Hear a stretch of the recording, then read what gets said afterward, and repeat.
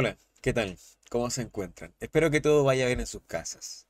Aprovecho de contarles que les traigo hoy día un nuevo video, un compilado de los mejores momentos de la elección presidencial del día de ayer. Un momento que sin duda puede ser muy desconcertante, probablemente haya mucha gente que en su corazón tenga bastante pena, bueno, regocijo en el de otras personas, pero lo más importante gente es que existen causas y motivos para esto. La gente no actúa de una manera irracional. La verdad es que el discurso ha calado hondo en ciertos sectores a través de cientos medios de información que en el canal ya hemos hablado muchas veces. Creo que el desafío que tiene Chile ahora es bastante importante, pero lo más relevante es que ustedes nunca dejen de aprender, escuchar y ser personas curiosas. Así que serenen su corazón, serenen sus mentes y tranquilidad. Adelante con el video. Nos vemos en una siguiente oportunidad. Marco Enrique Jovinani. ¡Viva! ¡Uh! ¡Viva la democracia! ¡Viva la democracia! Por final elegante. Hoy día son las elecciones presidenciales. Sebastián Sichel. Llegaron después de las seis, Roberto. No tiene nada que ver eso. Artículo 74 de la ley electoral. Los locales electorales permanecerán abiertos hasta las 18 horas. Si existen personas dispuestas a sufragar, el voto debe ser recibido. Está en la ley electoral. No me vengan a mí a decir, ah, es que llegaron después. Importa un Larry. Se tiene que votar igual. No importa, no importa. Así está en la ley. Y punto. Cerrar el portón porque si no, no vamos a terminar el proceso. ¡Tiene que abrir el portón! ¡Vieja ignorante! Efectivamente, ellos tuvieron desde las 7 y media u 8 de la mañana que las mesas se ¡Tiene que abrir el portón, señora! ¡Es la ley! Ya, nosotros, este porque tampoco podemos filtrar las personas que efectivamente en las urnas. ¡Pero si no se trata de eso! La mesa está cerrada. ¿Qué es esto? Este desconocimiento de la legalidad, Dios mío. Y ya si ustedes ingresan, se van a dar cuenta que. Es la primera vez que vota, señora. estaba dando en cuanto a la gran cantidad mesas que han estado eh, abiertas hasta las llegando 12 de la noche, señora. Distinta a otros procesos que habían existido en, la- eh, en el pasado. No importa que no tengan cómo identificar. Artículo ley 18.700. Artículo 74. A las 18 horas del día de la elección y siempre que no hubiera ningún elector que deseara sufragar, el presidente declarará cerrada la votación dejando constancia. Si hubiera electores con intención de sufragar, la mesa deberá recibir el sufragio. Entonces, Oh, Dios mío, no vamos a permitir esa mesa y dejar pasar a Dios mío, que Claro, porque tengamos aquí que tiene que pasar privar, por esta evidentemente hay que hacerlo de una vergüenza. manera ordenada. ¡Qué pero Tiene que vergüenza! el derecho ciudadano. ¡Qué voto, que vergüenza! más Carabineros tiene que... Bueno, está Carabinero Eso hay ahí. Tiene que constatar la ley. Como ha aclarado el CERVEL entonces, Está el director jefe local electoral. Tiene que Tenemos constatar primer la ley. cómputo, primer cómputo oficial.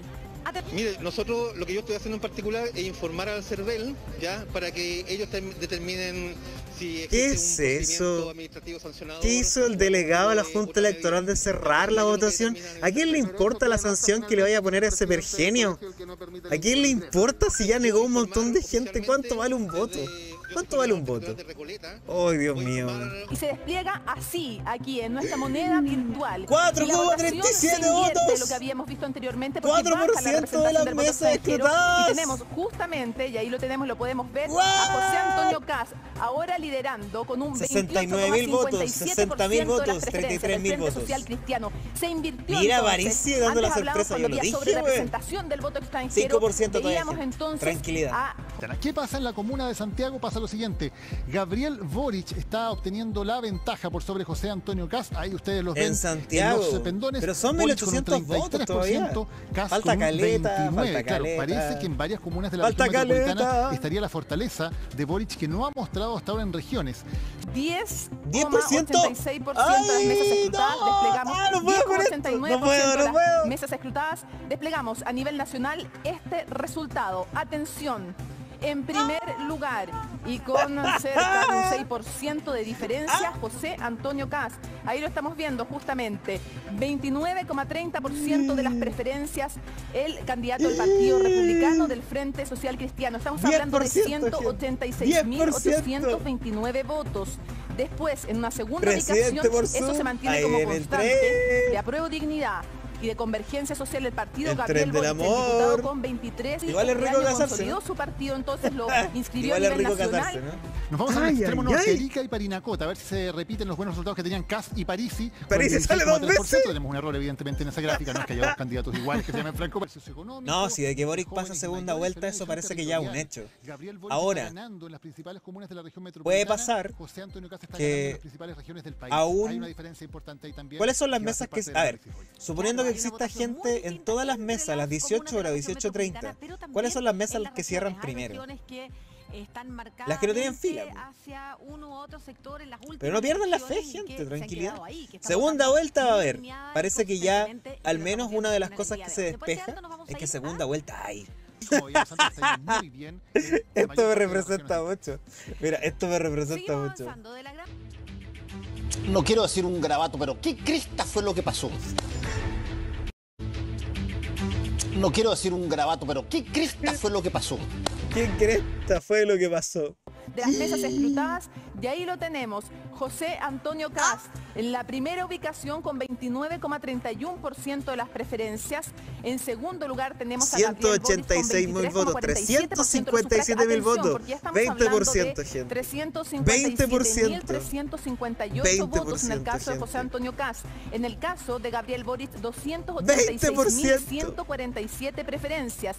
La sorpresa hasta ahora de la 20%. jornada, Frank Nagio, Oye, ¿cómo le sorpresa, no gustan para él las zanjas? probablemente, pero sorpresa ¿Le gustan las de lo que zanjas, hace un no? candidato que no pone un La pie verdad en que- Chile, pero lleva hartos años en las ¿Cuánto- redes sociales. cuánto es el tamaño Vamos promedio de una al otro zanja? lado. ¿Y qué ocurre? Muy cerca está rumbo, en la cuarta ubicación con un compañero, pudú, grita tu 13,06 por normal. Imagínate ser en Claro, este momento también Yanna Proboste o Marco Enrique que no ha Minami. sido homogénea la votación. Están Ca- votando muy distinto París y sacando bastantes norte votos, respecto a cómo están votando en la región metropolitana, Ah, no, las distintas comunas dentro En de la la región metropolitana no tanto, pero en el También norte me sorprende el apoyo de Parisi. entre una y otra. Si Oye, habitualmente Robert, ya podríamos tener una tendencia. No, yo tengo fe. Eh, es muy Tengo difícil fe. predecir si eso segunda se va vuelta. a mantener exactamente La igual verdad o podría haber es que me preocupa el ascenso en de la ultraderecha. Claro, Por ejemplo, por esto, por ejemplo, por esto, porque la región Pero metropolitana donde tranquilidad, los votos pesan mesura. mucho, porque son gran cantidad de Mesura. electores. que le podría permitir reducir Los apoderados de París, mira, encontré una foto de los apoderados a de la París. Valparaíso, a ver también qué está ocurriendo. Ya aquí sí, Gabriel Boric Los apoderados de París. estrecha sobre José Antonio Cast. 27,59 contra 26,019. Yo no voy a acusar que algo raro. Si así salió la votación, así salió y hay que lidiar con eso. No nos pongamos republicanos, pues. Magallanes, la excepción. No nos pongamos a decir fraude. Pero en No ha pasado prácticamente todas todavía. las comunas de la metropolitana al sur No ha pasado se está imponiendo todavía. José interesante. Piensen en ellos, por eh, favor. Un 7% Por favor, piensen en ellos. esa es su, su votación para cualquiera de los candidatos. Eh, allí los dos Piensen eran en ellos, por tanto favor. José Antonio Cast como Gabriel Boric. Comen maqui. Finalmente irá Son a rojizos. inclinarse por una u otra. Esa es la duda respecto a Son más vulnerables que un en girasol. Tercero, cuarto, quinto, sexto. Si hay una, un denominador común la región de Coquimbo, en las elecciones de Trump ojo, y elecciones de también elige Bolsonaro, bueno, y en Sri Lanka y en varios lados la más de donde se ha usado de tecnología de fuerte, procesamiento de datos de los votantes y Big Data de para poder como lo Cambridge de Analytica, es que estos resultados ocurren y principalmente siempre son las sorpresivos. en de Porque las campañas, como les digo, son sectorizadas. Creo que es en importante acá. Ser bien críticos con, con el resultado, pero a la vez también entender cómo se hace campaña hoy en día. Creo que es lo importante. 30%, ojo. Eh, de algunos días para ver si entrega o no sus votos a José Antonio Cast. Ya, Eh, esto es real, bueno, gente. nadie Ahora pueden subir su nivel de ansiedad a dos puntos. Su nivel de ansiedad a dos puntos. Dios está muerto. Quizás Dios está en los cielos, porque teme a su creación. Cáchate, Parisi. Yo dije, Parisi va a dar la sorpresa. José Antonio Cast. Parisi va a dar la sorpresa. weón. Republicano, 29, acto apruebo dignidad, 23,83% las diferencias. Hay una diferencia de 5% aproximadamente. Tenemos a Franco Parisi, un 13,73% de los sufragios. Tiene 260.939 votos. Esos son los tres primeros lugares de esta carrera presidencial. Lo que haga Franco Parisi no fueron a votar. ¿Qué en país es bueno, mitad, gente? Un 50% Para de ellos no fueron a votar. Veamos qué ocurre entonces con Yasna Proboste. 12,75% Espérate, ¿cómo de las preferencias. asilo político? En fra- franceses me entiendes. Franco Parisi por ciento Guía para solicitar asilo en Francia, ok. 224.152 Septiembre de 2020, actualizado. Podemos tener esto. Marco Enrique Sominami, Ok. 7,46% de preferencias. Y candidato de Chile, Podemos Más. Veamos qué ocurre con las otros cuatro candidatos. Muy bien aspectado. Compañero Ojo, tus algunos están haciendo el cruce, que es un voto también parece. Va a salir Sichel. ¿Qué va a decir Sichel? A ver, ¿dónde están tus convicciones con los derechos humanos, Sichel? A ver, a ver, a ver. porque no habría sido posible este sueño eh, sin ellos. Era bien improbable que alguien como yo llegara a Cambridge ser candidato presidente. Cambridge era Analytica. improbable que un independiente ¡Vamos, Con, eh, Ortega, con los huevos, carajo! De cara a la segunda vuelta probablemente tiene que ver con ¡Grande, algunos profe! Estamos hablando de un 4,74%. Tiene todo el sentido del mundo, gente. Es que eso es lo, eso es lo brígido de todo. Tiene todo el sentido del mundo. Así se hizo campaña y así se ganó. Se hizo en Estados Unidos, se hizo en Brasil, se hizo en Chile. Bienvenido al libro de historia. Somos la segunda sociedad donde los datos personales de la gente ganan campañas políticas. Pero tranquilo, o sea, si tiene pena por su país, ¿conoce a alguien que no votó? Bueno, será la segunda vuelta. Será la segunda vuelta. Y si no, así funciona la democracia, gente. Así funciona la democracia. Voto de oro, chutumare, ya. Que venga la señora Juanita, la última señora en votar. Vine a votar por mi general. Una, una serie donde sea voto de oro y llega el profesor Ar- de vota, llega como el, el compañero de colegio, el profesor Artés. El compañero, el compañero de derecha del profesor Artés, que siempre le cayó mal, pero por alguna razón le salvó la vida en alguna ocasión. Le dio un riñón. Ahora viene a votar y siendo que sus convicciones políticas están con el candidato, dice, tengo que pagar mi deuda con este mundo. Y vota por el profesor Artés. Y el profesor Artés sale, presidente. Sabemos, nadie es dueño de los votos, pero va a ser muy Voto de oro, como suspenso, como muy fuerte como en otras regiones y como en el promedio nacional, con 8,42% de los sufragios, 62.200 Con 10% A de ver los si la votos izquierda eh, sea el, el que sería electo. Y los tres que estamos es pintando en azul son los que son la elegidos. Los otros tienen los altas partidos votaciones pero quedan fuera. Esos tres son los que están siendo elegidos de en la Frente candidatura que Pro- elige tres, de Marco Enrique Ominami también en la culpa. eh, del, De Gabriel Boric, por supuesto. y uno de Creo que Chile Vamos. hay que Hagamos empezar a nuevamente ser el hincapié autocrítico en el que es sector. recién el primer Yo, la conteo verdad, de votos de a senadores que segunda se vuelta, está entregando. yo confío y en todavía la con gente. muy, muy, muy Pero la verdad, eh, baja eh, No contabilidad saben de votos. cómo hicieron que, campaña a la eh, derecha. esto, todo esto puede cambiar. ¿Sabéis lo que Nos pasa? vamos a la región de O'Higgins. ¿Sabéis lo que pasa? Tres senadores. Con la a entrevista que de Gabriel en este y la entrevista Ahí de Marco Enrique, me se di cuenta que no Alejandra tiene ni idea cómo la campaña que tiene derecha. No tienen ni idea, sacando güey. 37,50% Nada. No saben de dónde vienen estos votos. No saben de dónde vienen tres estos votos. senadores, 15,03. No, no, no, no, gente, no le echen la culpa a la gente. Nunca, gente, jamás se hace eso. Jamás se le echa la culpa a la gente. Esto es responsabilidad de los partidos políticos, porque ellos son los cuerpos intermedios. Y si te- no tienen credibilidad o poder llegar a los votantes, votación. es culpa de los partidos, Mella nunca la gente. Si la gente la se Gente. Expresa en un sentido, gran parte de la está bien. respecto a Y hay que si aceptarlo, y así funciona la democracia. altísima que está Así funciona la democracia. En Por eso hay que votar. país, entonces, Ustedes Senado son la este gente, yo soy la gente. Nunca la gente es responsable. Porque claro, le Karina gusta a la gente cuando votan a prueba. Ojo con eso. Ojo con los discursos. No caigan en el discurso del mal perdedor. No caigan en el discurso de la persona que simplemente le interesa que gane su 24,35, postura y le importa un bledo el resto. Ojo, gente, si la de- ultraderecha 14,57 sacó casi el marcando 29, Mira, Jorge Zavala, Siendo de ultraderecha, no considerando a los votantes como ultraderechos, sino que siendo ultraderecha, es algo que es digno de análisis. Y ya pasó antes.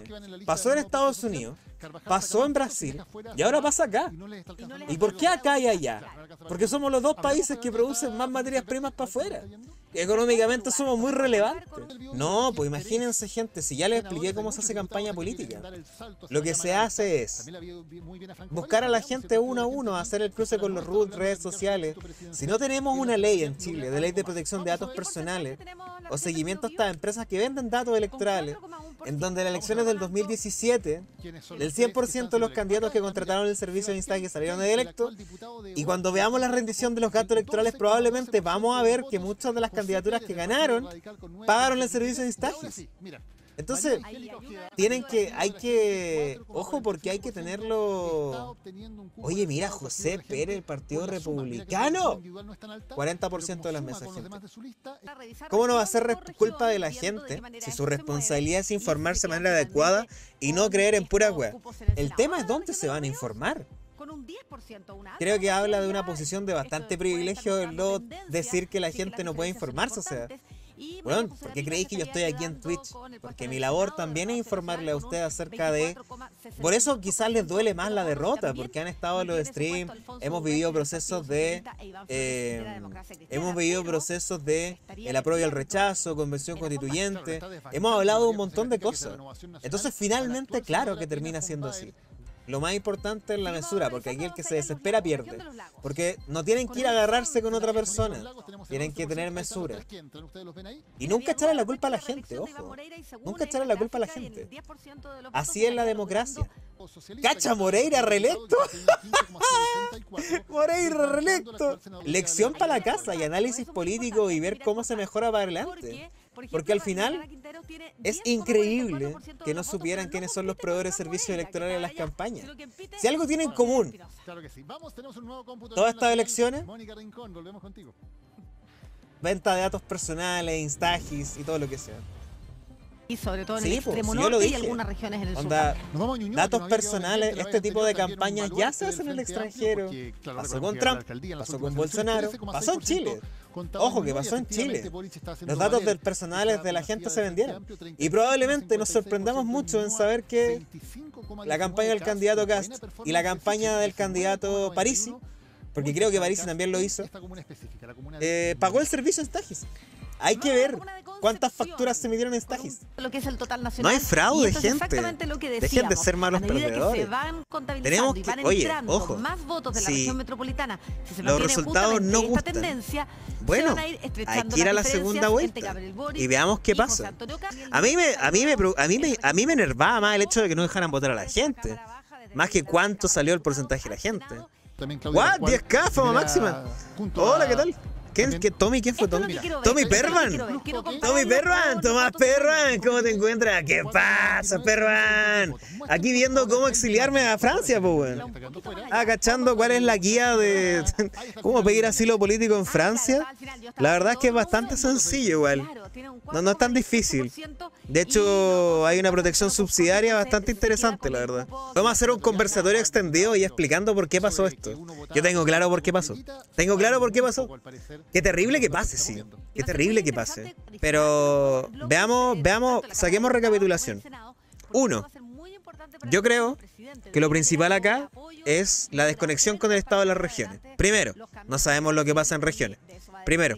Segundo, la manipulación política de la información a través de los datos personales es un hecho comprobado en varios países. Lo hizo Trump, lo hizo Bolsonaro y ahora pasó en Chile. Pasó. Datos personales ganan elecciones. Y la metodología de la empresa que brinda el servicio es Instagis, weón. Instagis, la empresa que presta servicio a las campañas políticas y que es la campaña, la- el proveedor favorito de campañas electorales, es lo que ganó esta elección. Ya habían ganado la elección del 2017. Piñera ganó en el 2017 con el programa Instagis y además varios senadores, diputados y municipios también. Software de predicción territorial pensado para usted. Conecta su información de manera fácil, empodera su equipo, repóngase la media. Tome decisiones informadas en segundo, integre, visualice y analice fácilmente toda la información de su empresa, gobierno y redes sociales. Trabajan con la Municipalidad de Santiago, con Walmart, con Providencia, con Ripley, con Cencosud, la Municipalidad de Vitacura. Bueno, por ahí faltan los ministerios del gobierno de Chile. Pero también le ha prestado servicio a Cervel. Entonces tú te vayas a los productos porque solo dos senadores. Claro, y aquí tení. Instagis TV Brain, Civil General, georreferenciación y te venden la campaña política. Te venden la campaña política uno a uno.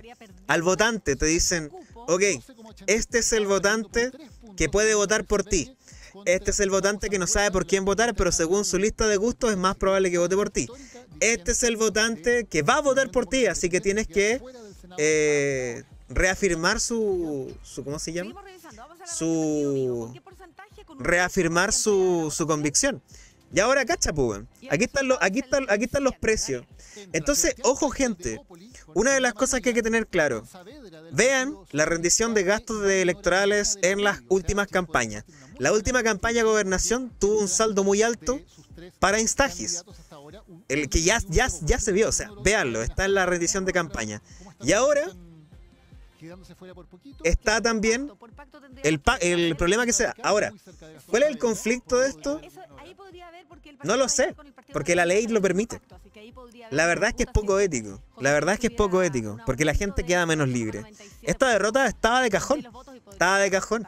Y me sorprende que cuando hicimos la entrevista al candidato Gabriel, no conocieran de la forma en que se- el, el oponente está haciendo campaña política. Ojo con esto, gente. Ojo con estos servicios, precios y todo el servicio que se presta en la elección de campañas políticas. Porque hoy en día se hacen campañas políticas a la carta. Te sectorizan un montón de gente y tú vas puerta a puerta convenciendo.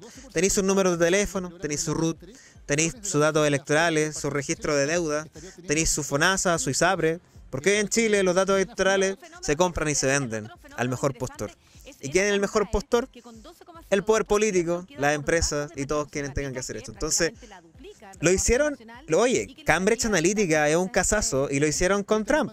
Lo hicieron con Bolsonaro y ahora pasa en Chile. Sucumbimos ante los poderes fácticos nuevamente. Se estabilizó el que status quo. Hoy en día, lo que me da pena, sí, es que el candidato Cast y su programa y su público adherente, en general yo creo que la mitad de la gente que votó por Cast ni siquiera le interesa su programa porque la verdad es que no le interesa. Es increíble el daño a la el que le hace a la sociedad el estar de- debatiendo sobre principios democráticos. Es increíble el daño que le hace a la sociedad que estas cosas caigan como en la tela del juicio. No son debatibles. No son debatibles. Tenían candidatos moderados como Sichel, tenían candidatos moderados como Briones. No lo eligieron. Mira, y no es coincidencia que RN tenga gran cantidad de tenga gran cantidad de, de votos. Mira, Instagis RN. Instagis, el gran hermano de las campañas políticas financiadas por la Corfo. En las municipalidades y parlamentarias pasadas, Renovación Nacional fue el partido más votado. Parte del éxito está por el uso del software de la empresa Instagis, capaz de identificar el root, domicilio y preferencia política de una persona. Instagis, que recibió un 1.400 millones de corfo, fue la pieza clave de la exitosa campaña Sebastián Piñera. Expertos advierten que, aunque su uso no es ilegal, esta herramienta aprovecha los forados de una norma gracias al lobby que terminó favoreciendo el negocio del tráfico de datos personales en vez de proteger la privacidad de los ciudadanos. Entonces es importante porque el, ya venía, esto ya, esto ya se sabía hace cinco años atrás. ¿Cuánto es? No, tres años atrás. Dos, tres años atrás. 2018, hace, tre- hace tres años atrás, ya se sabía esto. Y se hizo. Y se ganó gracias a estos datos personales. Esto es lo que pasó. Les presento la nueva forma de hacer campaña electoral. Y es bastante efectiva y ya se sabía de hace mucho tiempo que era efectiva. Pero no, yo les estoy, no estoy asumiendo la derrota, si queda la segunda vuelta. Pero si quieren buscar explicaciones de por qué pasan estas cosas, bueno, ahí tienen una bastante contundente. Fuera de las conjeturas que puede hacer, esto tiene un acervo objetivo. Esto no un dato objetivo. Toda la gente que pagó el servicio de Instagis en primera, el 2017 salió electo, electa. Pero al final la gente decide. No te puedes ir contra la gente, gente. No te puedes ir contra la gente. Si la gente decide, usted se calla y va a votar en la segunda vuelta. Porque no saca nada peleando ni echando la culpa, país culiado, la mierda. O sea, así no es la política. La pelea se da hasta el final.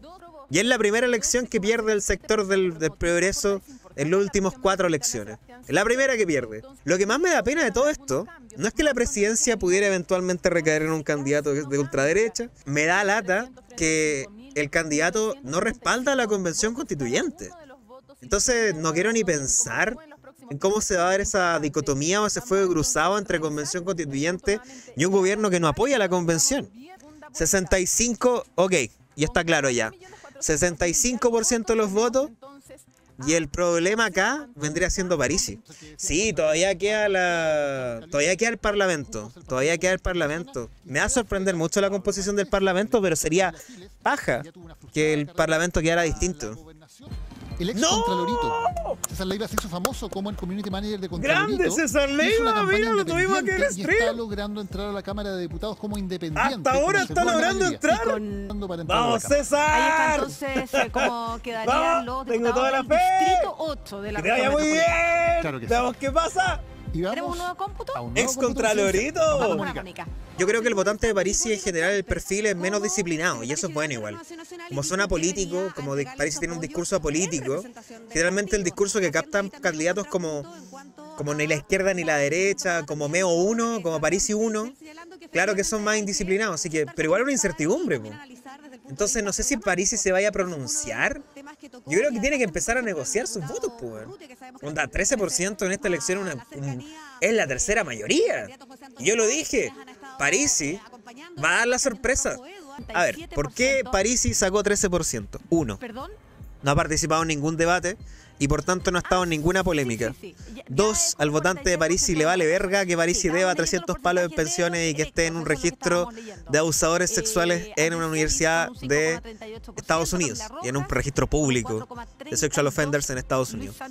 3. Es apolítico, por tanto tiene un voto como independiente. 3. El candidato Parisi, al no estar en los debates, no estuvo como el fuego cruzado. Y creo que la campaña de Parisi fue mucho más enfocada en redes, porque no estaba acá, entonces trató de llegar a los, a los votantes de alguna manera. Y yo creo que pagó instagis, porque mucha gente me empezó a mandar por inbox ciertos mensajes que les, llevaban a, les llegaban a su WhatsApp. Lo cual siempre es un... Es un oiga, las campañas por WhatsApp son una novedad ahora. Así que yo quiero que... Yo creo que, claro, esas cuatro cosas combinan en el... En el en el ascenso de Parisi. Es que mira esa wea. Oye, fachito, zurdito, ¿sabías qué? Fraude electoral. No caigan en eso. A eso me refiero. El argumento del fraude electoral es- no sirve. No es verdad. Robert, el otro día llegó un bot de Parisi a spamearme la campaña, te lo juro. Weón, si pasa. Oye, pero entonces los bots ahora votan. Sí, yo no diría que se tiene que ver con un tema de bots, sino que tiene que ver con que llevaron gente nueva a la urna o convencieron gente de votar por ellos. Además, los votos que saca Kass en general son los votos que ha sacado siempre la derecha. Onda, es súper relevante tener en cuenta que los votos que ha sacado Cast son los votos que ha sacado la derecha. Lo que se podría decir es que la derecha recuperó a sus votantes. Eso se podría decir, que la- el sector de la derecha recuperó a sus votantes. Se, se pasaron. Muchas, muchas gracias por el cariño, Escuchen, por gente, acompañarnos. Ganó. Como Escuchando. decimos, muy buenas noches Santiago, Por muy, buenas noches por muy, Chile por entero. muy mal que me ¡Viva caiga. Chile! Por muy ¡Viva retrógrado. Chile! Gente como el final de una película de terror, ¿no? Una película de terror político. Recibir a todos aquellos. Muchas gracias. Que viva Chile. Que viva Chile.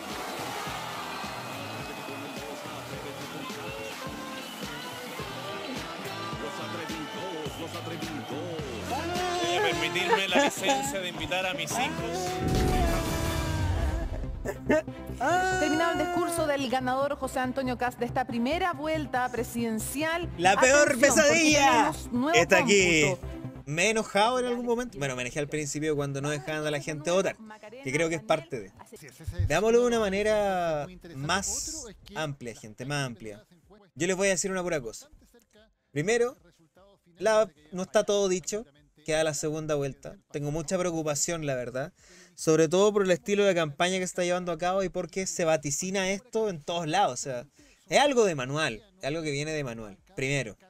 Segundo, eh, tengo fe, la verdad. Razón de por qué hay 9.000 personas acá también tiene que ver con una suerte de, de acervo de ideas, creo yo. Algo que un mensaje que ha llegado ahí, entonces el corazón está bien puesto.